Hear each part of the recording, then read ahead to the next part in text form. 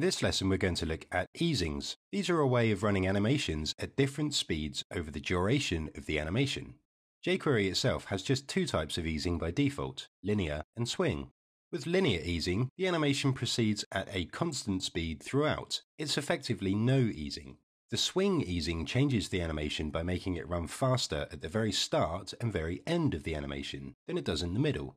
There is an easings plugin that can be used with jQuery to add the many other types of easing. With jQuery UI, however, this plugin is included by default, so we can use any of the different easings automatically with either custom animations we add ourselves or any of the jQuery UI effects.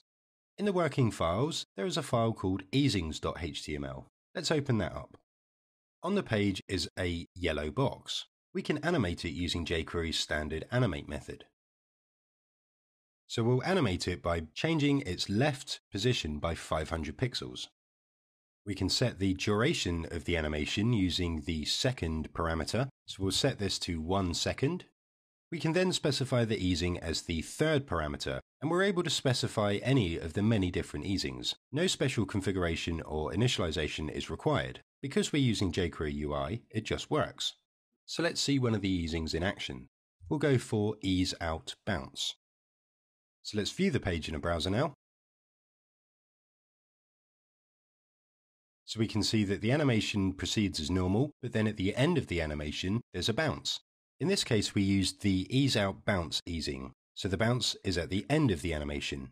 We could also use the ease in bounce if we want the bounce to be at the start of the animation. We can even use ease in out bounce to have both. All of the different easings have these different modes, an in type, an out type, and an in out type. There are 30 different easings in the library, which sounds like a lot, but then you can divide that by 3 to account for the different types of each one. So really there are just 10 to learn. For further information on all of the different easings available, check out the guide up on the jQuery UI website. And on this page, if we go down, we can see that there are a series of graphs here which show how all of the different easings progress throughout the duration of an animation.